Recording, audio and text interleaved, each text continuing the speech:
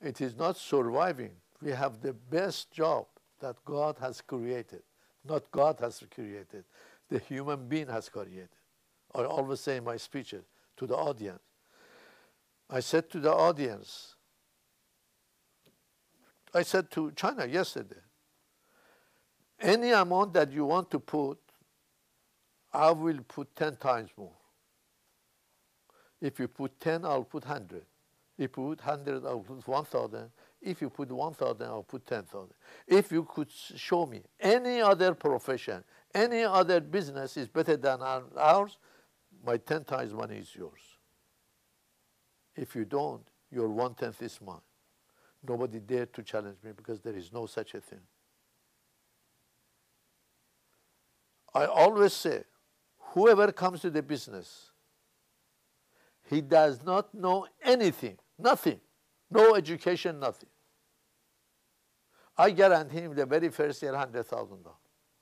The very first year, I guarantee him $100,000. How? I'm just saying for eight hours. They go to the street. Whoever passed by said, Do you want an insurance? For eight hours, you're staying.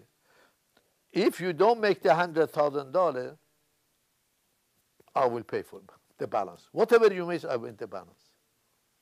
It is beautiful business. It's fantastic business. We don't have any inventory. We don't have any machinery. We don't have any capital. We don't have any. The only thing that we have, we talk. We talk. The more that you talk, the more money that you make. No, when you say crisis, it is not, absolutely, I don't believe in it. It is one of the best, not one of the best, best job. I'm so much in love with it.